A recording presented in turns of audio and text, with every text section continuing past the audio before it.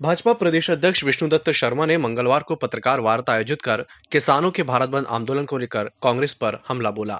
उन्होंने कहा कि कांग्रेस ने किसानों की आड़ में रहकर उन्हें बरगलाने का काम किया, लेकिन कांग्रेस की चाल सफल नहीं हो सकी और उनके आंदोलन में कोई किसान नहीं पहुँचा। विष्णुदत्त शर्मा ने कहा कि कभी यही कांग्रेस इस तरह के कानून का समर्थन किया करती थी और आज कांग्रेस पार्टी द्वारा किए गए विरोध में उनका मुखिया ही नज़र नहीं आए। कि कांग्रेस का बंद का आह्वान पूरी तरह से मध्य प्रदेश के अंदर विफल रहा है। मध्य प्रदेश के किसानों ने ही नहीं, पूरे देश के किसानों ने कांग्रेस का साथ नहीं दिया।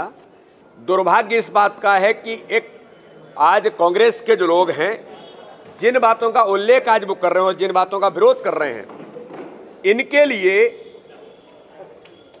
इसी बिल के लिए कांग्रेस के मित्र मध्य प्रदेश के हमारे पूर्व मुख्यमंत्री कमलनाथ जी, कपिल सिब्बल जी, और भी अगर हम बात करेंगे, शरद पवार हमारे जो बड़े किसान नेता देश के अंदर कहे जाते हैं, इन सबने मिलकर के भी इन सारी बातों का अमरिंदर सिंह जी से लेकर के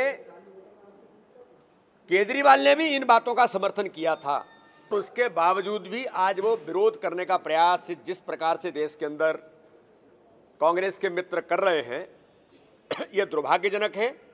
और देश के अंदर किसानों को जो गुमराह करने का प्रयास किया, लेकिन अच्छी बात यह है कि देश के अंदर किसानों ने कांग्रेस के इस आंदोलन का समर्थन नहीं किया और मध्य प्रदेश के अंदर तो पूरी तरह से विफल हो गए। जो कांग्रेस बंद का कॉल कर रही है और इस प्रकार की बातें कर रही है तो मध्य प्रदेश के हमारे मुखिया कांग्रेस के, वो भी आंदोलन से गायब हैं। माननीय कमलनाथ जी, कहाँ हैं आंदोलन के अंदर? तो इस प्रकार की, एक नहीं, कई प्रकार की चीज़ें आज ये सिद्ध करती हैं कि कांग्रेस के द्वारा ये आंदोलन जो उन्होंने कॉल किया था, पूरी तरह से विफल हुआ है। भोपाल से ईएमएस टीवी के लिए वीडियो जर्नलिस्ट देवेंद्र माली के साथ हेमंत माली की रिपोर्ट।